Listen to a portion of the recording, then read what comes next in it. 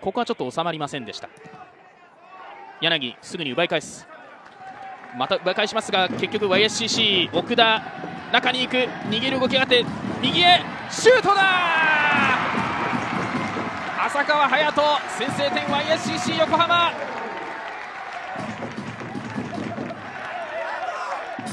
ゴールキックからの展開で最終的に浅川のゴールになりました。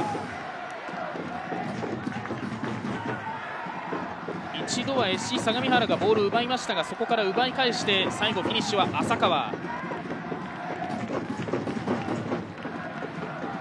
奥田のアシスト右足を振り抜きました浅川隼人。